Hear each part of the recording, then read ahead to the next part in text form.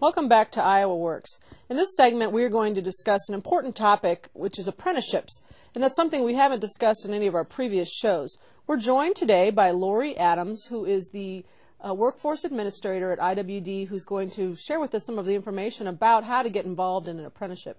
So, Lori, maybe you could give us some just general information about what an apprenticeship is. Apprenticeships are an opportunity, uh, Liz, to earn while you learn. Um, it gives you an opportunity to do some on-the-job training where you're actually paid to learn a new skill in an occupation which could lead to full-time and permanent employment on the completion of your training. So how do I learn more about getting into an apprenticeship program? IWD is very proud of the fact that we have been one of the first in the nation to have a website that has a, a multitude of information on apprenticeable occupations, um, how to get it into the into the field, um, Iowa has over 1,100 apprenticeable occupations, so you can look and see if a field you're interested is is available in Iowa. Um, we have a job bank that lists the current apprenticeable occupation opportunities that are available in Iowa, and there's also ways to contact either uh, the Department of Labor or IWD to find out more about what's available in your area. What are a couple examples of apprenticeshipable fields? Um, anything from plumbing to electrician, uh, pipe fitters, uh, steel workers, masons. Um, a lot of the construction trades are well known for having be, been in the apprenticeship field, but there is also um, things in, in IT and the medical field as well. And uh, is there any particular training I need to get into an apprenticeship? Just an interest in, in being in learning a new skill. You can have um, a high school education, you can have a college education. You can currently be in high school and get a certificate of apprenticeship, a high school education, and an associate degree in some areas all at the same time. Right. I was really excited when I looked at the website to see that there were even areas like chef and uh, food prep and a lot of other diverse uh, occupations that are apprenticeshipable trades.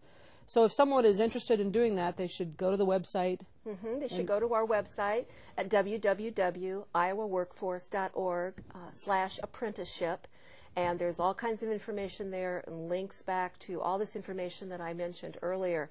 I think it's really important to stress that apprenticeships are not you don't require to join a union or all the apprenticeship occupations are not in union covered trades. That is a big part of it, but it's not a requirement.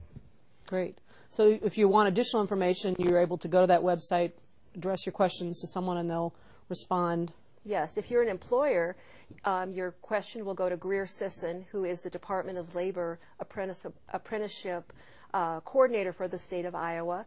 If you're a job seeker, um, you can look at different areas of the state, and if you're in Des Moines, um, your question will go to staff here in Des Moines, or if you're living in Sioux City, your question will go to people in Sioux City so they are familiar with the area and the opportunities that exist. I, I like the earn while you learn uh, thing. Mm-hmm. How much will I get paid?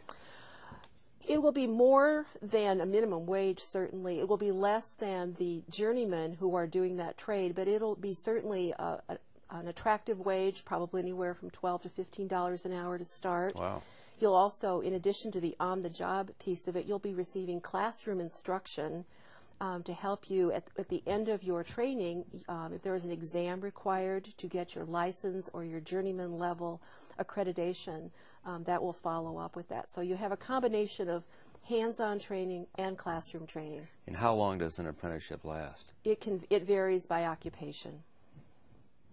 So long as I'd say, you know, depending on the field, I mean, obviously, I think we'd all like to see an apprenticeship and an electrician get the benefit as much training as possible. Um, so it could probably be anywhere from a year to 18 months for starters. Could be less depending on the field. Right, right. One of the things that I thought was kind of surprising about apprenticeships was that in Iowa, there are uh, quite a few um, of the apprenticeship occupations are dominated by men. Um, we've been really trying to raise awareness among women and minorities in Iowa about the um, great benefits of doing an apprenticeship. Can you talk a little bit about that? Sure, and that's a great point, Liz.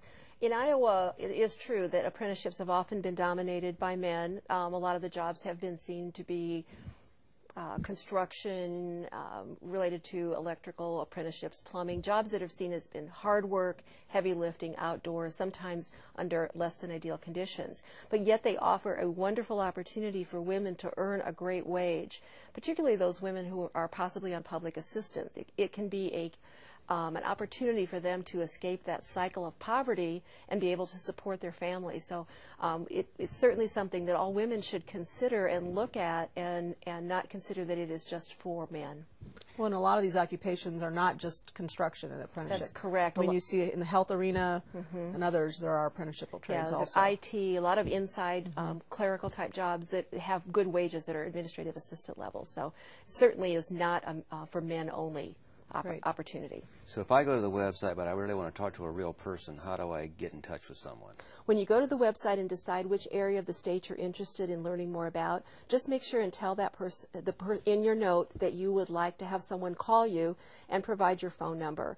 Um, all of our managers have been directed to um, respond to those um, as quickly as possible on receipt, and they will call you and discuss what your personal situation and needs are. Fantastic. Yes. That's all the time we have for this particular segment. Lori, thank you very much, Thank and we'll be back me. in a minute.